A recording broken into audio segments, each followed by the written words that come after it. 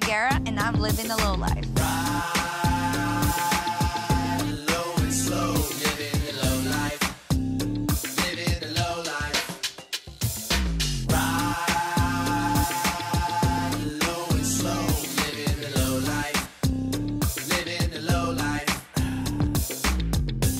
Today on Living the Low Life, we're going to the Grand National Roadster Show, where hot rodders and lowriders learn that they have a whole lot in common. Us being a lowrider club, with the hot rods, with the roasters, we're all one. We'll follow the Lifestyles Lowrider Club as they prepare to compete at a show known for outrageous hot rods and customs. Here's a Oh, here's a fun at that. car for you. And we'll see how lowriding has earned respect at one of the most important custom car shows on earth. It's never been better for lowriders than it is right now.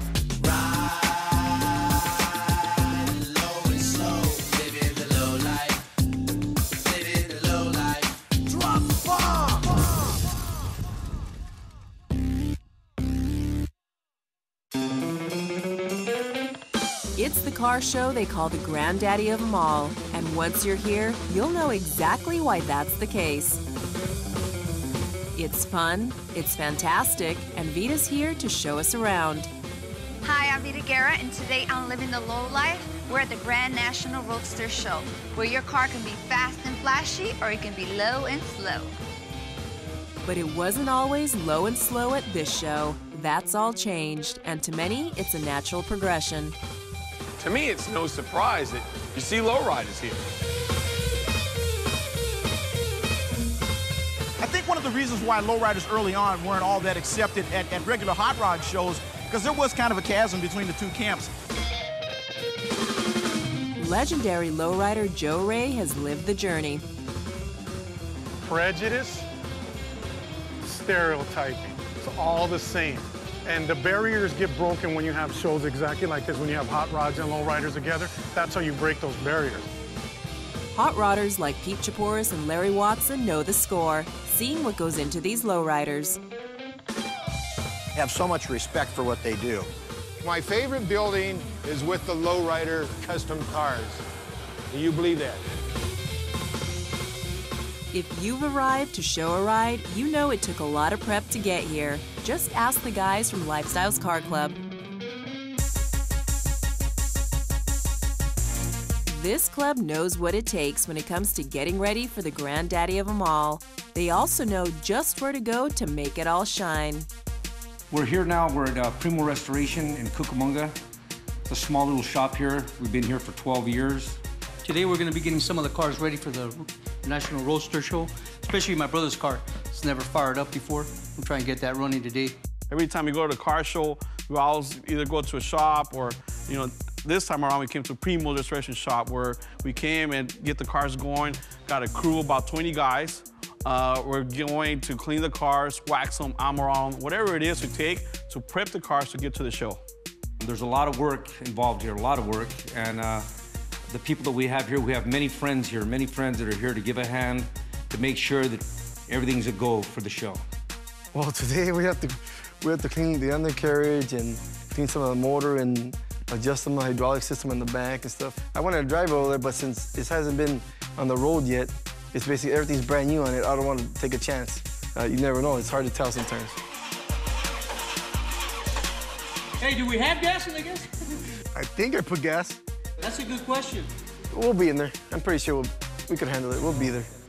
Just crank it.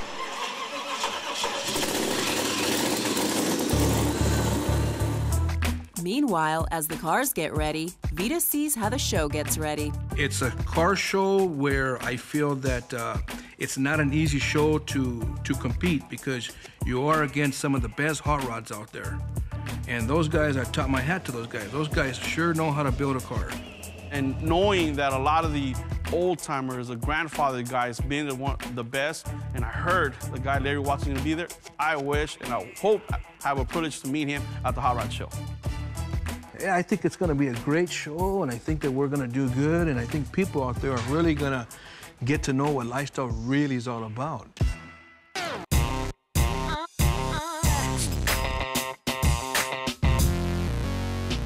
with Rick from the Lifestyles Car Club as he prepares for his trip to the Grand National Roadster Show.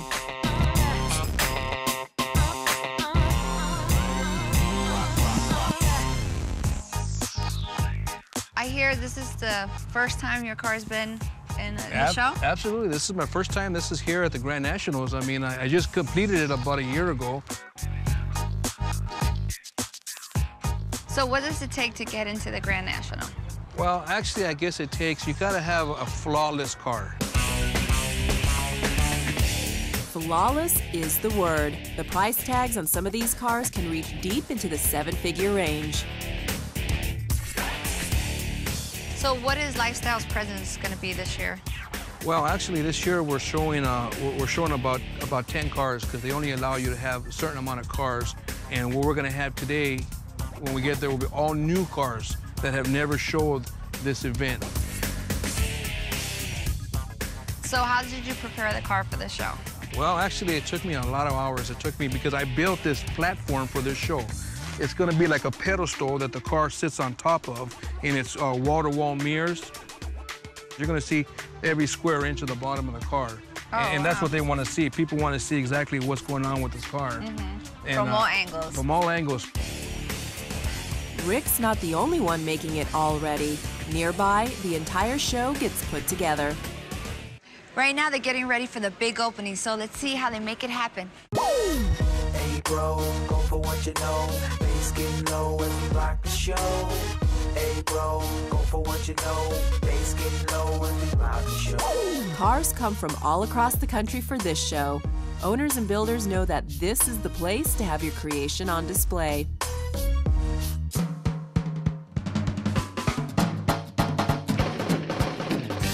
Vita's ready to get the scoop from show organizer John Buck. So tell me a little bit about the history of the Grand National Roadster Show. The Grand National Roadster Store started in Oakland in 1950 by a, a guy by the name of Al Slonaker and his wife Mary. And um, they started the show as a kind of, they wanted to have a concourse Pebble Beach high-end Ferrari uh, type of, of event. Well, they couldn't fill the buildings in, in 1949 with enough of those high-end cars. So Al got on the phone with his buddies and said, hey, can you bring a couple of those you know, hot rod cars over? Which is a bad word back then. These are rebels. Well, when the attendants and the folks started coming to the show, they gravitated toward the hot rod side and not some of these more foofy cars, mm-hmm. collectors' cars, you know. Mm-hmm. So instantly, the very next year in 1950, the National Roadster Show was started.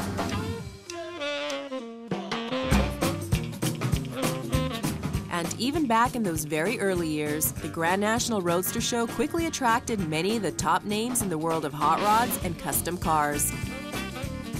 Guys like Blackie Gejeian, who won in 1955 with his little roadster that he used to have three guys help pick up so that he could show the undercarriage of the car. He was the first guy to chrome the undercarriage of a car and put it in the show. And so these guys were breaking their backs every hour picking the car up to show off this undercarriage until a, a lady walks up and says, why are you doing that? So to show it up, says, well, why don't you just put a mirror under there? It'd be a lot easier on the back. They did put the mirror under the car, propped it up with a coffee can, and there you have it. Now you've got mirrors on every show car showcasing that undercarriage and how much detail and work go into these vehicles.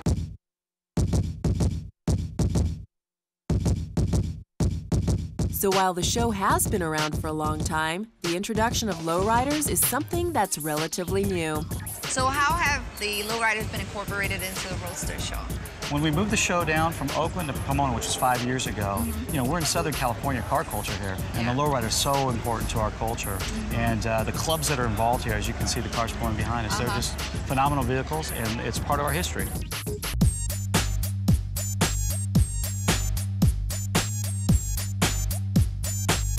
As we prepare for the Grand National Roadster Show, Vita checks out all the action. Let's go talk to some of the lowriders that made it here today.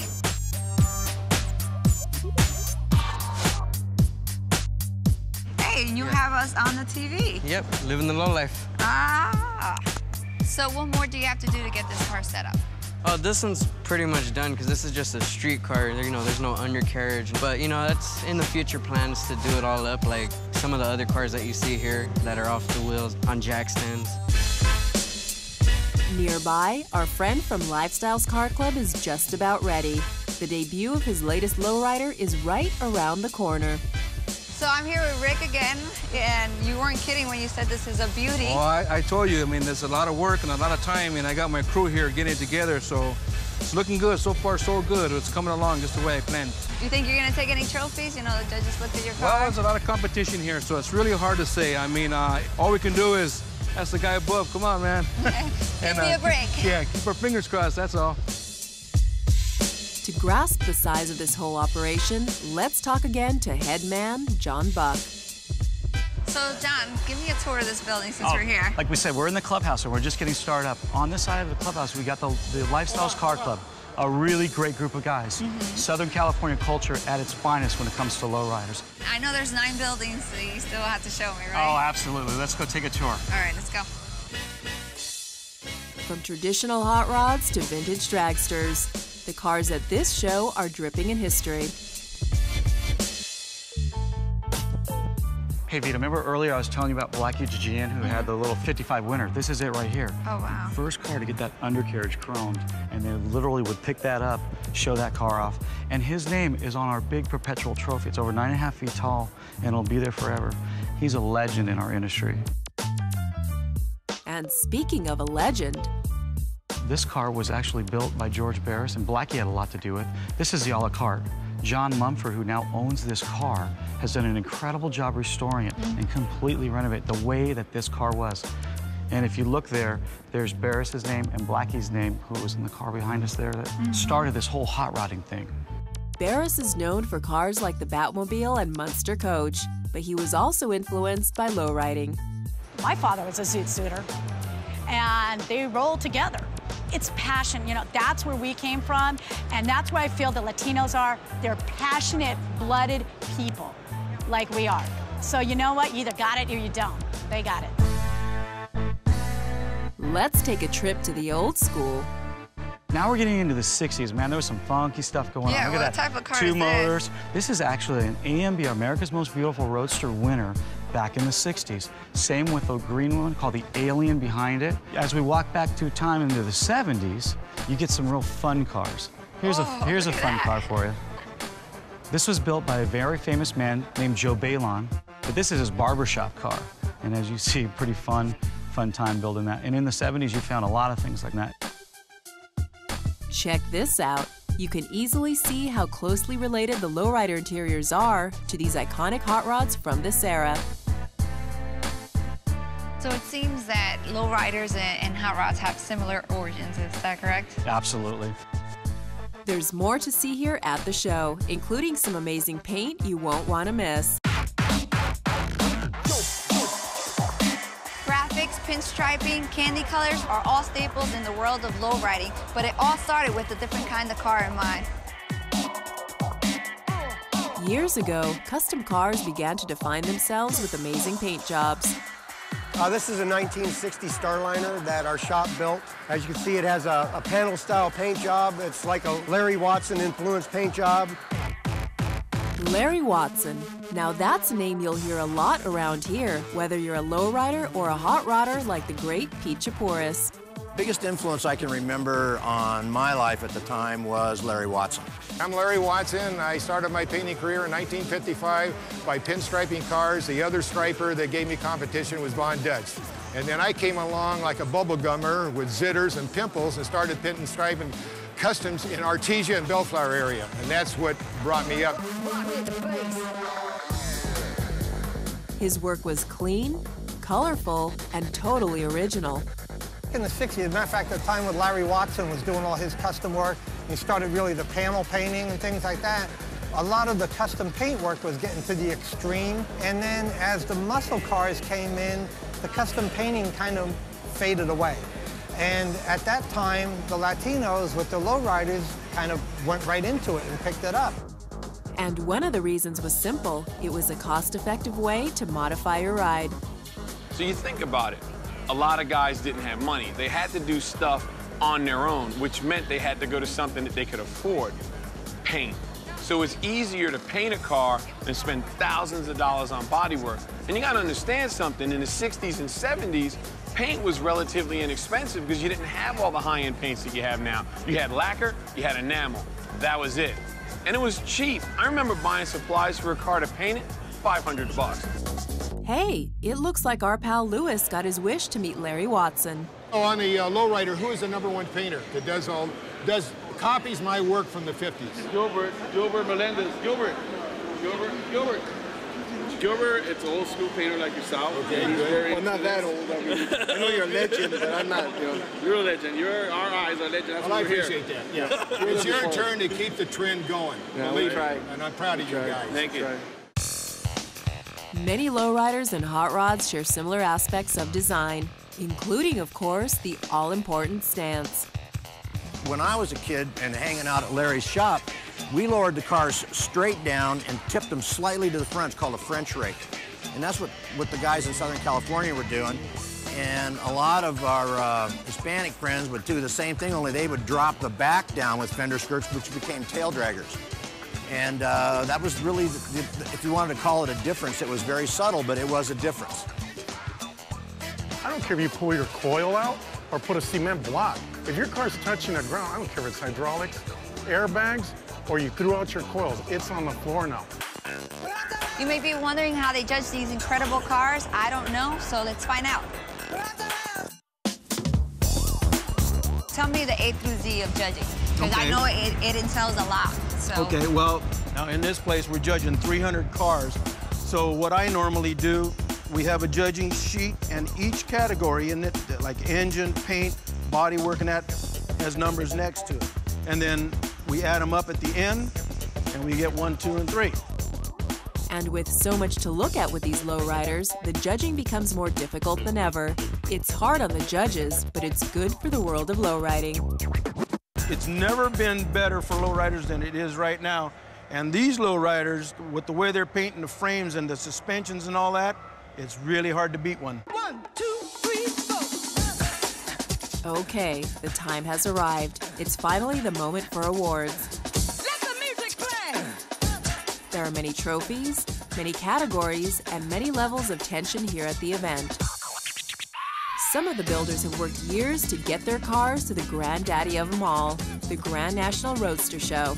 And our first place winner, the 73 Chevy Monte Carlo, painted orange, Luis Serrano from La Puente.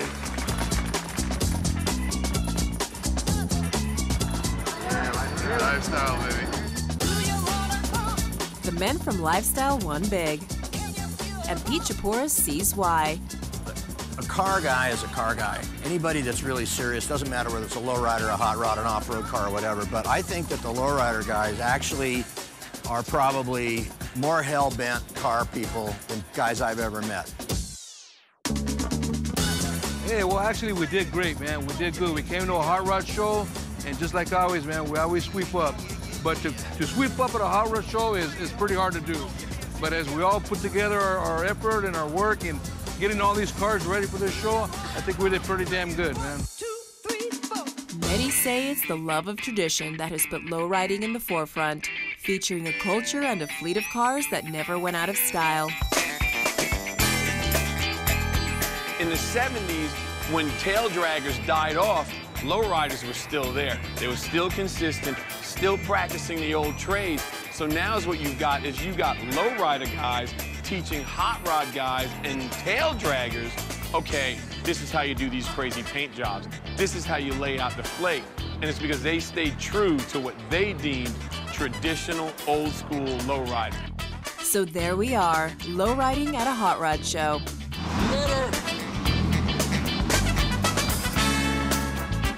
It's all part of the scene here in the low life. Can't go wrong with it. Low ride. Keep it basically always show ready, and you know it's always ready to go. In case something comes up, we're we're ready. We're kings of clean. There you go. This show might be your, your lucky show. You might take that number so. one spot. I hope so. I'll bless it. I'll sit on it Yeah, and bless it. yeah, all right.